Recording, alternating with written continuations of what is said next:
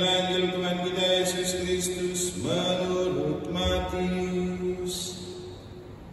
Dimuliakanlah Tuhan. Dalam khotbah di bukit, Yesus bersabda, Kalian ini garam dunia. Jika garam itu menjadi tawar, dengan apakah dapat diasinkan? Tiada gunanya lagi selain dibuang dan diinjak-injak orang. Kalian ini cahaya dunia. Kota yang terletak di atas gunung tidak mungkin tersembunyi. Lagi pula, orang tidak menyalakan pelita lalu meletakkannya di bawah gantang, melainkan di atas kaki dian, sehingga menerangi semua orang di dalam rumah. Demikianlah hendaknya cahayamu bersinar di depan orang agar mereka melihat perbuatanmu yang baik dan memuliakan Bapamu di surga.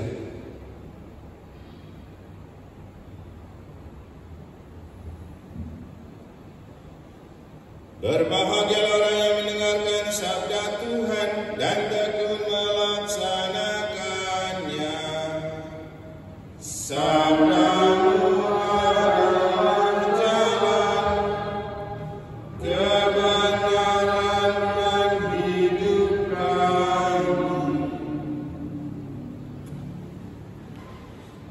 Demikianlah hendaknya cahayamu bersinar di depan orang agar mereka melihat perbuatanmu yang baik dan memuliakan Bapamu di surga.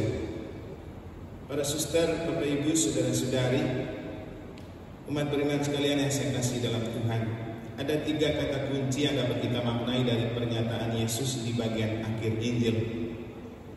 Hendaklah cahayamu bersinar di depan orang dan perbuatan baik lalu memuliakan Allah.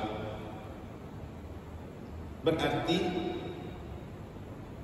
orang kalau melakukan perbuatan baik itu bisa untuk memuliakan Allah, bisa juga tidak. Banyak orang berbuat baik, tapi apakah dengan itu ia memuliakan Allah dan orang yang melihat perbuatan baiknya itu memuliakan Allah? Belum tentu.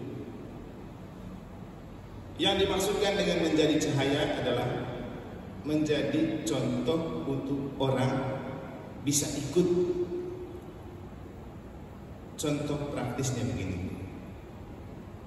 Mungkin kita masih ingat waktu Pak Pius sebagai Wakapolres Jemberana itu saat beberapa bulan ada di sini, setiap kali ke gereja langsung ambil posisi di depan sekeluarga. Itu gampang sekali membuat kita ingat. Dan kita dan orang lalu merasa bahwa Wih, orang yang jabatannya besar seperti ini saja kalau ke gereja duduk di depan.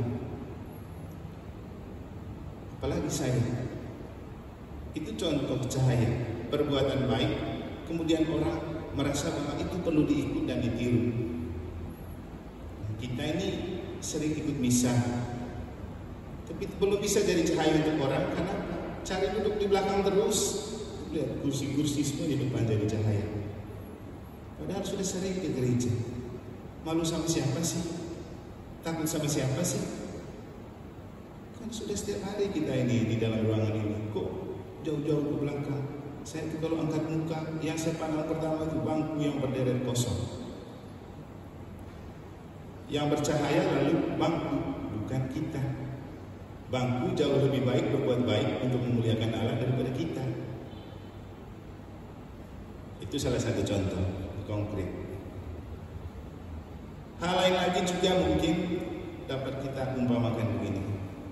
Terkait dengan apa yang disampaikan oleh Santo Paulus dalam bacaan pertama, ada satu hal yang penting untuk coba kita hayati dalam hidup dan itu sangat berguna, yaitu menjawab yang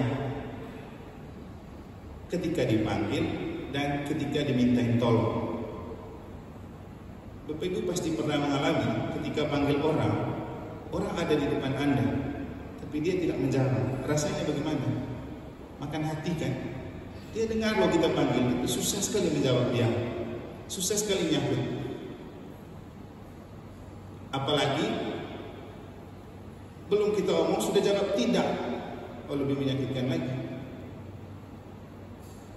Tapi ini hal kecil yang sangat berguna Ketika kita panggil orang dan orang langsung jawab ya, itu memberikan rasa bahagia tersendiri kepada yang memanggil. Di KBG untuk para kali, untuk para ketua KBG pasti tahu rasanya ketika ajak umat untuk doa dan orang tidak nyahut di grup, rasanya bagaimana? Dan memang kita hidup di zaman di mana orang punya kepedulian itu sangat rendah. Coba lihat di grup info Santo Petrus. Berapa orang sih yang merespon kalau Komsos kasih pengumuman? Tidak ada. Coba lihat di grup-grup lain. Kalau satu orang sejak ngomong, lain-lain semua rame-rame memberikan respon. Tapi topiknya apa? Tentang kejelekan. Rame.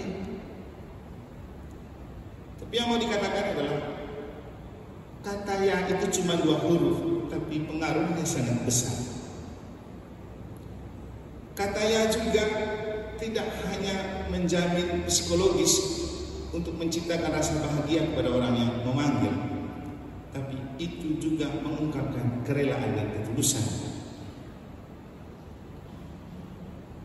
Tentu kita mengalami betapa susahnya orang menjawab ya kalau ditawarkan, besok kamu jadi lektor, besok kamu tugas di gereja, besok kamu pimpin doa di sini.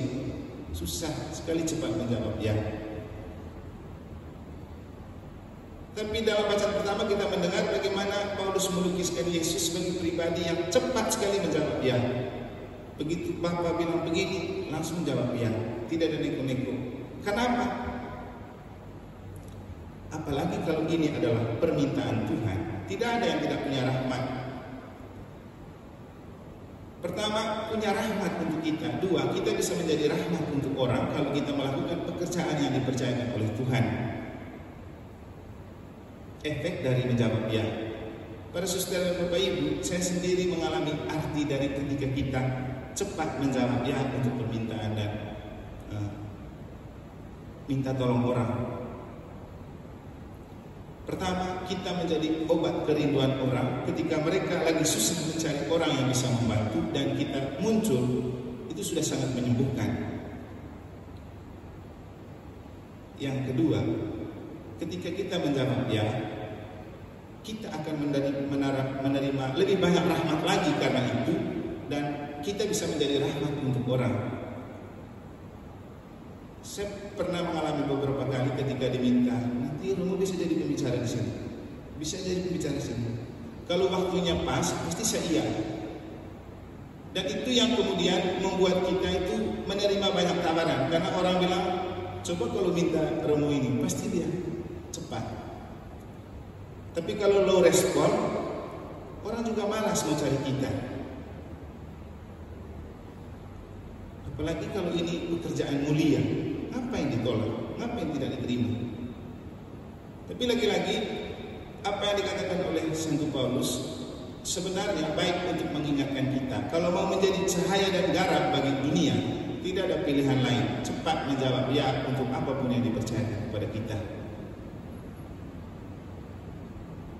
Kamu jadi prodiakon langsung ya. Kan itu pelayanan Tuhan.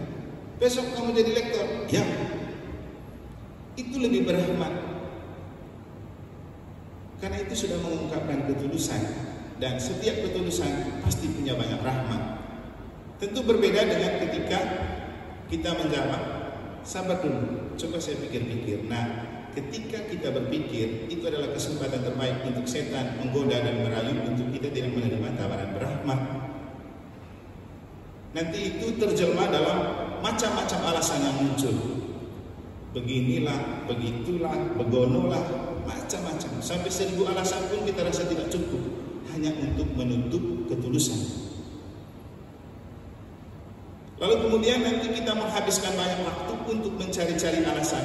Mungkin juga peristiwanya sudah selesai, tapi kita terus terganggu ketika ketemu orang yang pernah minta kita, nanti kita bilang apa lagi? Kan malu, kan tidak enak. Jadi inilah efek dari ketika kita tidak berani menjawab ya. Karena memang tidak ada ketulusan dan kerelaan. Dan itu akan sangat susah untuk membuat kita menjadi cahaya dan garam bagi dunia. Tapi kalau kita cepat menjawab ya, itu akan memudahkan kita menjadi cahaya dan garam bagi dunia. Seperti yang saya bilang, pengalaman saya ketika kita cepat menjawab ya, orang akan terus mengincar kita. Coba hubungi ini, coba hubungi itu. Berarti dengan itu kita sudah menjadi cahaya dan garam. garam. Gampang sekali orang ingat. Bapak Ibu Saudara sekali, kenapa Yesus menjawab ya kepada Bapa? Karena Yesus tahu tidak ada rencana dan proyek Bapa yang tidak menyelamatkan pasti selalu menyelamatkan dan mengandung rahmat. Saya rasa kita pun perlu menyadari itu. Setiap panggilan dan tugas yang dipercayakan oleh gereja itu punya rahmat. Memang tidak mungkin selalu dalam bentuk uang dan materi. Tapi rahmat itu memang tidak bisa dibatasi oleh uang dan materi. Uang atau materi bisa sebagian kecil dari bentuk rahmat yang nampak tapi rahmat itu tentang sesuatu yang besar yang tak dapat dibatasi oleh uang dan materi.